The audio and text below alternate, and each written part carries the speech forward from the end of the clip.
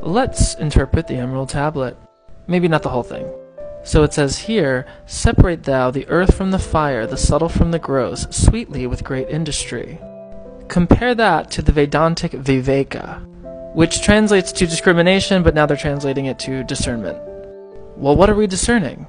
We're discerning between the big capital S self and the cute lowercase s self. Now, there's not really two cells. We use this bifurcation for convenience, but the general idea is differentiating between what appears as you, your mind, your body, your personality, etc., versus the absolute consciousness that you are, which pervades and is everything.